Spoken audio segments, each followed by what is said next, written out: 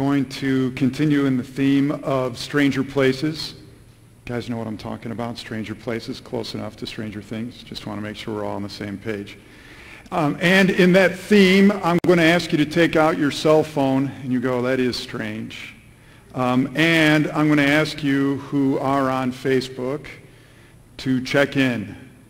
And for those of you that are going, um, I, don't, I don't love that thought, or I don't have Facebook, just humor the rest of us for just a minute. You guys checking in with me? Come on, let's check in. I'm going to do it. And I don't even need my kids here to help me. I can do it by my own self.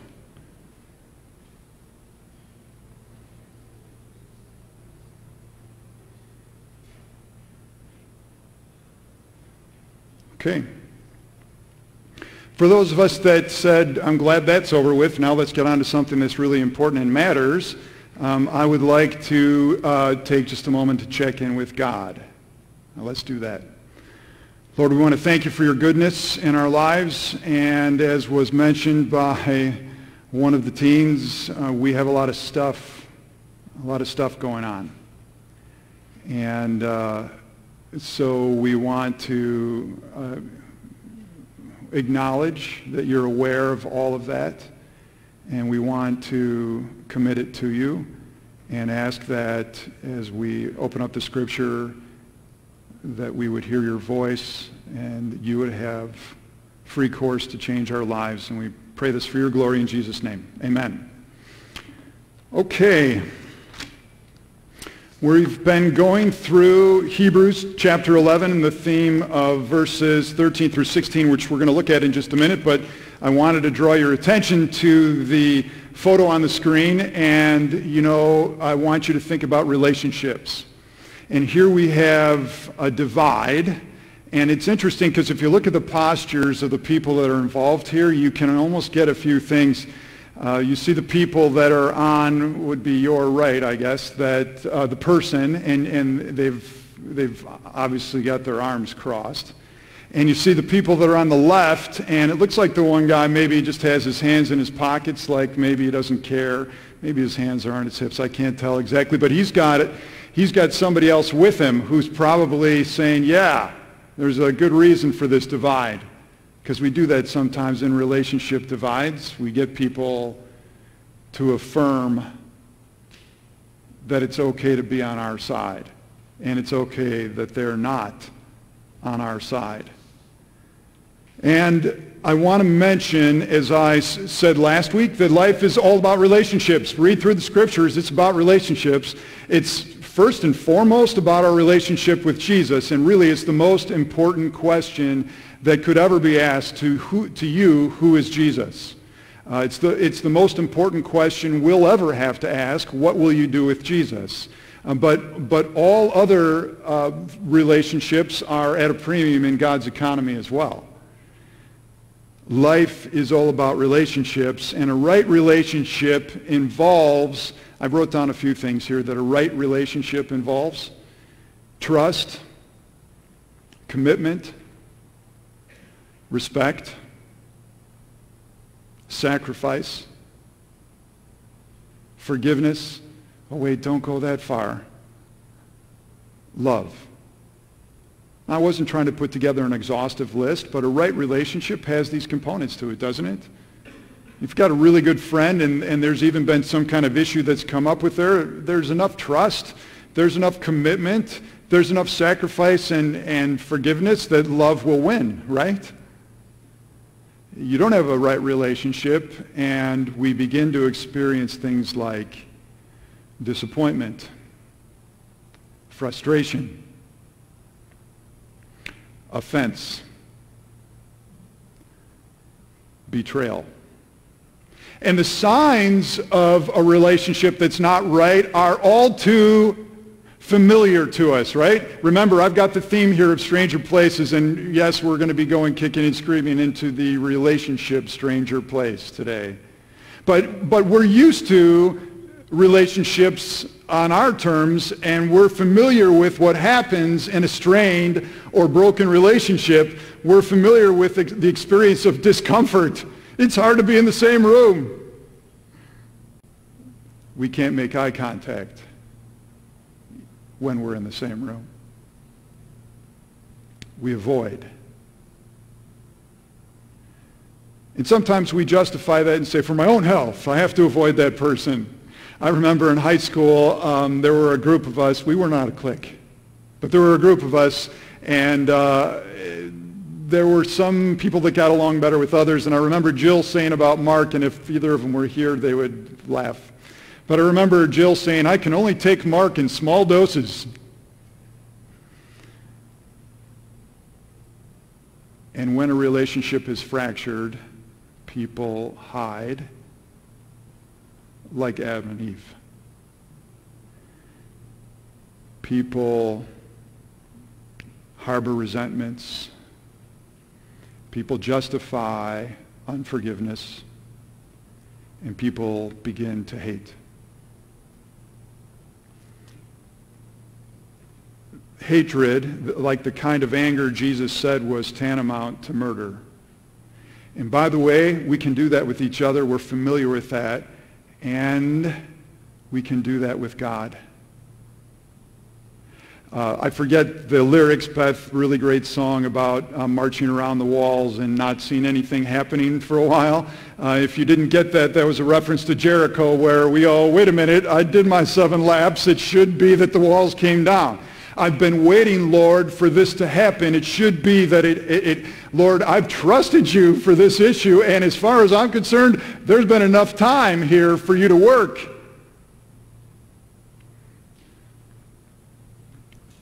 I want to share just one story and get right back to the text that we looked at last week. And this is the story of Tom. And Rich, you're going to know this one because uh, there, Rich has been part of the Bible study that we've had for a long, long time. And then now then went off and, and they've got a, now a Bible study, a, a, life group in their home, which is really great. Except for I wish you were still with us. But anyway, um, uh, there was a guy who came one time to the Bible study, and we didn't know him, but uh, he was playing in the church rec league. Now, uh, we had a men's league for basketball, and I never played in that because I don't have any basketball skills at all. Uh, but uh, Tom is his name, and Tom came to our Bible study because one of the guys from our Bible study said, hey, you should come to the Bible study sometime, and Tom came. I don't know why he came. I don't know how our invitations work. I wish everybody had responded to all of our invitations, don't you? And it seems like hardly ever do people do, but Tom came. And uh, it was interesting. We didn't know any of this about Tom, uh, but came to find out later. Tom had um, given his life to Christ when he was a teenager, but somewhere along the path, he kind of got it mixed up with the American dream and a few other things that he thought were going to be fine with, with God and turned out not to be. And along the path, he got into an argument with his parents who were believers, and he stopped talking to them as a young adult. And then Tom began to have a family, at a, at a marriage, and, and kids, young boys. And um, somewhere along the way in that uh, marriage that he thought would be perfect, there were regretful behaviors, and it was not going well. It was strained at best. And he was playing in a basketball league. He came to the Bible study, and we were studying, I think, Romans at the time. I can't remember. Whatever it was, we were taking way too long in every section of verses. But, uh, but God was speaking, and God was showing up, and we didn't know any of the things that, listen, we all have things in our lives, don't we? And you meet people, they have stuff, too. They have their stuff. And after a couple Bible studies, Tom asked Rich and I if he could talk with us. I'm going to leave it right there for right now. You say that's not fair, but that's where I'm going to leave it. Hebrews 11, verses 13 through 16 says this, all these people, and we're referring to, we've talked about uh, in the scripture before that these people were Abel and Enoch, uh, Noah, and Abraham and Sarah. All these people were living by faith when they died. They did not receive the things promised. They only saw them and welcomed them from a distance, admitting that they were foreigners and strangers on earth. They were living in stranger places. People who say such things show that they're looking for a country of their own. if they had been thinking of the country they had left, they would have had opportunity to return because they were familiar with the places they had been, just like you and I become familiar with things, even relationships that aren't right. We become familiar with it, we tolerate it, and it's okay. And actually, if people toss us some sympathy or in, agree with our, with our um, angle on how we're looking at things, our perspective, it's even more familiar to stay there if we had been thinking about it. Instead, the scripture says, they were longing for a better country, a heavenly one. Therefore, God is not ashamed to be called their God, for he has prepared a city for them. And again, the theme is faith will lead us into stranger places. And relationally speaking, faith is, is going to lead us into stranger places. But I want us to think especially about relationships today. And we think about Abel being mentioned, we go, oh yeah, Cain and Abel, bad situation. And we think about Jacob and Esau. We think about bad situation. Jacob stole the birthright and then ran and was scared to death to come back because of what he had done. And we think about Joseph and his brothers. Bad situation, right? bad. Except for when we think about these situations from God's perspective. We think about Joseph and we think about how God permitted circumstances that, that, by the way, lasted a long time. Not the months or years that we've been waiting, a long time. Circumstances that ultimately resulted in salvation. Right? So I want to focus just a little bit on Abel. We're going to talk about Cain too, but if we backed up in Hebrews chapter 11 to a couple verses before that 13 through 16, it says, By faith Abel brought God a better offering than Cain did. By faith he was commended as righteous when God spoke well of his offerings. And by faith Abel still speaks even though he's dead.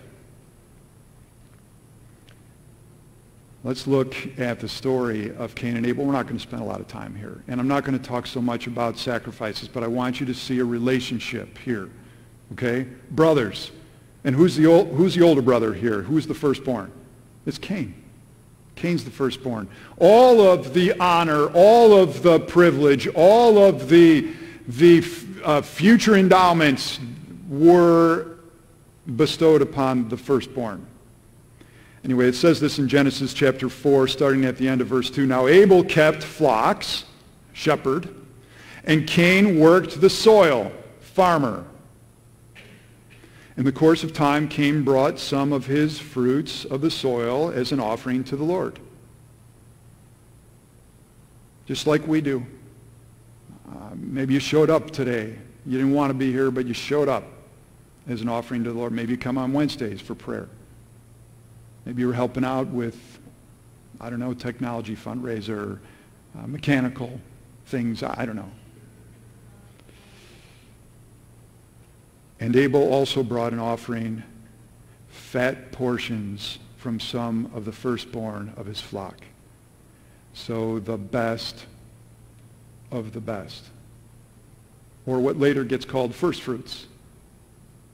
Not what's left over, but first fruits.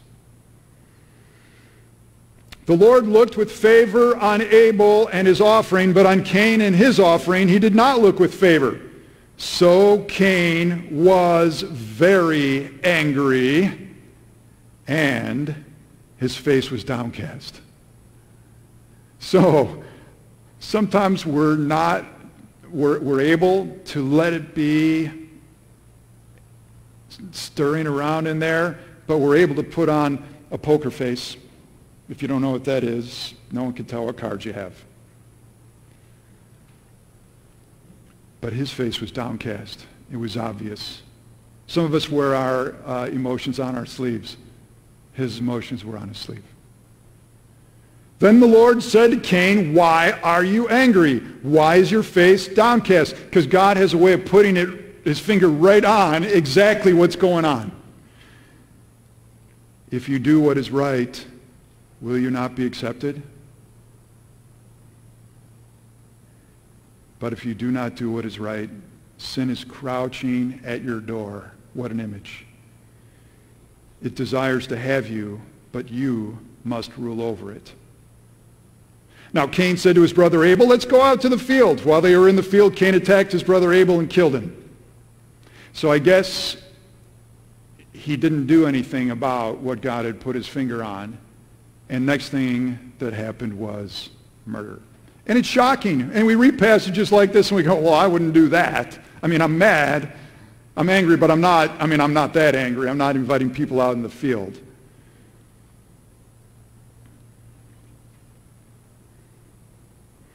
In this story, we want to be Abel, don't we? You want to be Abel? Don't want to be Cain. Let me show you something. Two photos here from uh, a celebration that happens in March of every year in, in the Jewish community. And this, this photos were actually taken from Jerusalem. And uh, the celebration is the celebration of Purim, P-U-R-I-M. And Purim is a commemoration of what happened in the book of Esther. When God, when, when uh, wicked Haman was going to destroy the Jews, and Esther was brought into a place uh, where she could speak to the king. And Mordecai was already in a place where he could talk with Esther about that and rally the people and, and prayer would go on. And, and all of the Jews were delivered and the bad guy got what he deserved. And by the way, these are the stories that we love. These are the stories that we want in our lives. And these are the stories where we expect God to come through. I put this up here because um, when I was in Jerusalem, we were in a courtyard, and all of a sudden all these kids came running in. They were celebrating Purim. It's kind of like a, a Halloween for them. It's costumes. But in most cases, they get to choose who they're going to be. And, and at our costume parties, you know, you get to be Superman or Batman or whoever, whatever. Um, but, but for this, when they're thinking about the book of Esther, all the girls want to be Esther. So I love that dress. You see that dress up there? That's the dress, ladies, right? Um, and if you're a guy, you want to be Mordecai. But if we're going to act it out really well, someone has to be Haman. I don't want to be Haman. Do you want to be Haman? No, I want to be Mordecai. And ladies, you want to be Esther. I'm going to turn back one slide to the Cain and Abel. And I want to just say something here that's difficult, and then we move on. Whether we think about who we would be in the Cain and Abel story, I already know we're thinking we'd be Abel. When we think of Jacob and Esau, we might not take on all the personality of a Jacob, but that's who we would be. Not selling my birthright for some porridge, stew. When we think of Joseph and his brothers, man, I'm the one that God's going to bring out of the pit. I'm the one that's not been treated well. Maybe I've talked about dreams too much, but I'm Joseph. And I want to tell you this. I think we are quite often mistaken.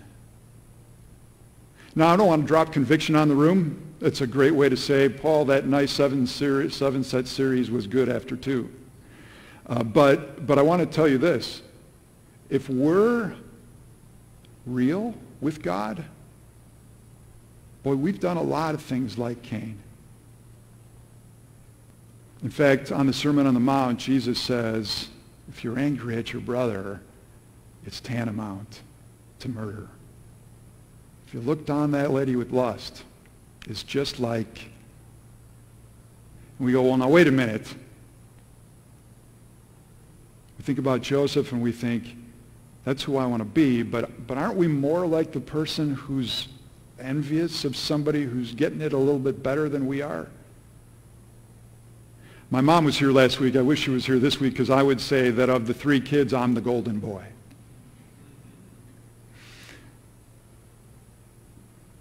Maybe that's not right. It's the way I want it to be. And so I want us to be careful here as we think about these things. I want us to be careful. Let me share a verse with you now that brings some redemption. This is from 2 Corinthians, 2 Corinthians chapter 5. And he, speaking of Jesus, died for all, that those who live should no longer live for themselves. And that's a message that you got loud and clear at NYC. I, which I wonder, NYC in Phoenix, I wonder if NYC is ever in NYC. Is it sometimes? Um, but anyway, um, listen, Jesus died for those that, that we should no longer live for ourselves, but for him who died for them and was raised again. That's the, that's the message they shared this morning, right? I mean, we, just like Barry said, done. except for relational issues get in our way. Sometimes with one another, mostly with God. But look at what he says, redemptively speaking, in 2 Corinthians chapter 5. So from now on, we regard no one from a worldly point of view. What does that even mean regarding people from from our perspective, from our experience, from the things that we heard about that situation, from, you know, it doesn't matter if we had a hundred discussions with the person that offended us, the one discussion where they offended us was enough to negate them all. You know what I'm saying? But this says, from now on we regard no one from a worldly point of view. Though we once regarded Christ in this way, and we did, we do so no longer. Therefore, if anyone is in Christ, the new creation has come. The old is gone, the new is here. Now I'm going to pause for just a second because whether we wanted to identify with Abel in the story or not, or whether we felt convicted and went, no, no, no, I guess now that I think about it, I have been like Cain or Joseph's brothers or Esau. I want to tell you this. Your identity is in either of those. Our identity is in Christ. That's where our identity is. Thank God. Otherwise, I'm standing up here because who knows, maybe I've got some credentials. But those are not my identity. Or maybe I'm not standing up here if you knew a lot about me because, holy cow, I've got regrets in my life. But that's not my identity. My identity is in Christ. This is the escape hatch for so many of our issues, and especially in relationships. Please, people have judged you and pegged you and labeled you. I know it, and you know it, because you've done the same thing, and so have I. Let's cut ourselves some slack, and let's cut other people some slack. Could you imagine where we'd be if Jesus held our experiences against us? But the scripture says, while we were yet his enemies, he died for us. That's love. That's not regarding people from a worldly perspective. Oh, we're getting into stranger places when we remember that our identity is in Christ. It's in those familiar places that we better get out because they're not enduring. Let me go a little further here. All this is from God who reconciled us to himself through Christ and gave us the ministry of reconciliation. You know that's a gift, right? that God was reconciling the world to himself in Christ, not counting people's sins against them. And he has committed to us the message of reconciliation, which, by the way, we often think of as, as the gospel. And yes, it is the gospel, but oh, there's so much more. The gospel is moving in relationships. It's not just bringing people to Christ, it's bringing people to Christ again. And it's running to Christ ourselves. We are therefore Christ's ambassadors. You weren't deputized in Arizona. You were deputized when you gave your life to Christ. Arizona was a reminder of your ambassadorship. For the rest of us, we were deputized when we gave our lives to Christ. And some of you are saying, well, I haven't made that decision yet, and I just want to, I want to invite you again. all I can do is point you to Christ. There's not much I can do for you except for to point you to Christ. But aren't you tired of that familiar place? Let, the, let today be the day of salvation. Put all your chips on the table for the hand that Christ has for you. We are therefore Christ's ambassadors as though God were making his appeal through us. We implore you on Christ's behalf, be reconciled to God. God made him who had no sin to be sin for us so that in him we might become the righteousness of God. Which, by the way, is what was counted to Abel in his sacrifice. You know why? Because Abel, while he was taking care of the sheep, took his chips and he put them in with God.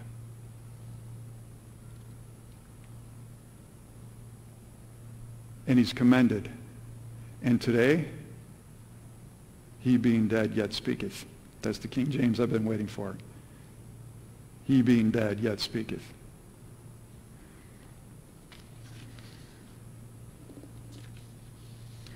I want to return to Tom's story. Tom, who came to our Bible study for the first time a few years back, and then asked Rich and I if we, he could talk with us after. And his life had a lot of stuff in it. Tom told us that he needed to make things right with God. It was interesting. When somebody comes to talk to you, sometimes you have no idea what to expect. I had no idea what to expect. In fact, I had probably labeled Tom in some certain ways. He was a big, he was a muscular guy. He was, uh, he could play basketball, and I couldn't. That's no fair. Um, I don't know. He was a business owner. Whatever. We label people, don't we? I had no idea what he was going to talk about. Tom comes, and he told us he needed to make things right with God. He started with the most important relationship. He wanted to have a right relationship with God. And he did. Right there.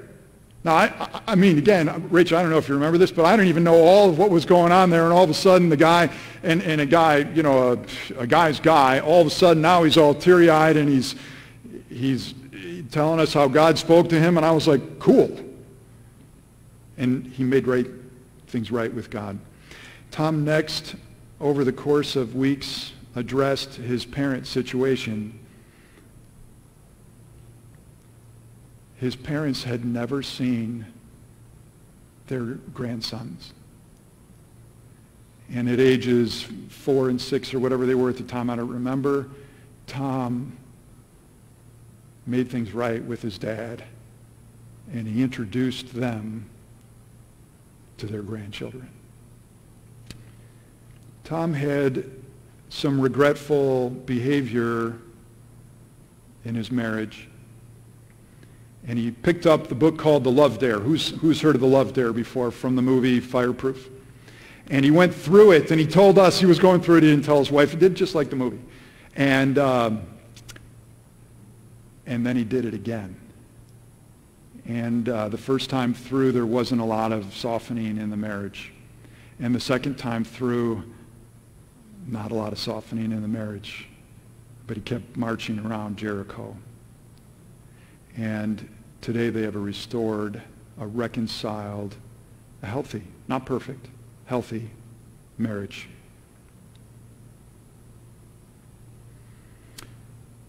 I'm going to wrap here with a request. Uh, the first thing I'd like to do is get your phone. I know, strange, but I'm going to have you do it.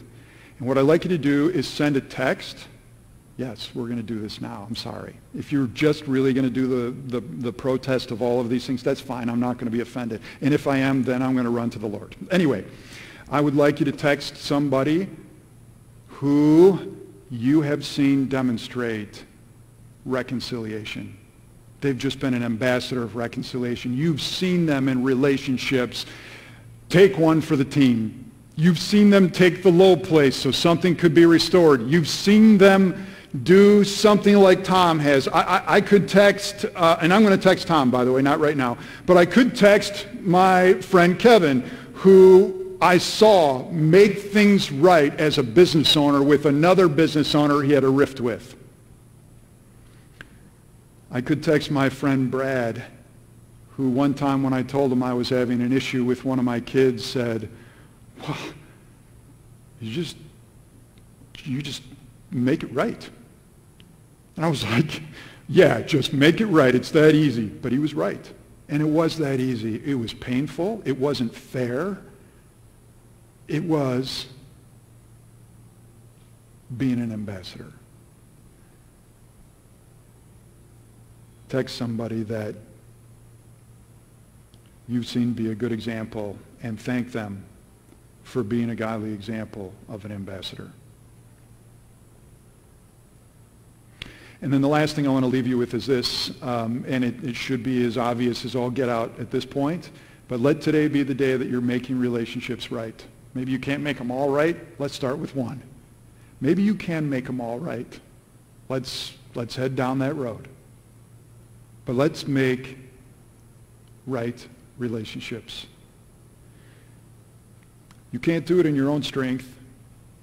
If your hand is forming into a fist and you say, okay, then I'm really going to try now hard this time, and I've tried before and they haven't listened, listen, you're going the wrong way. We need some Holy Ghost power. You say, Lord, I need some Holy Ghost power. It's prayer. I need Holy Ghost power to bring heaven down to earth. Uh, that's what we're doing as ambassadors. Beth, come forward. That would be great. If, like Tom today, you've been nudged, or maybe you've been spoken to even more directly, because the passages are, in some cases, raw and direct. I want to invite you to come and pray. There's going to be a couple of us here to pray with, uh, or maybe you just want to talk about it. And I recently had a conversation with a friend of mine who had helped me one time, and he now was in his own situation. And as I said, well, my, it's the same remedy you gave to me. He was like, yeah, but my situation's different. I know, I've been there. I've thought my situation is different before too, but the remedy is still the same. The path is still the same. It's taking the low way in Holy Ghost power in the name of Jesus. So if you'd come to like to talk about that or pray about that, I want to invite you to come forward. I'm going to step down here in just a minute and have a couple people come on. Why don't you stand up here? And, and for the rest of you, listen, make today the day that you make a relationship right or a number of relationships right. And as we're up here, um, there's going to be some more piano playing. The rest of you are going to be permitted to just head out. Lord bless you on your day today. Remember, we're here for a short amount of time. Let's make it count in the power of the Holy Ghost. Amen.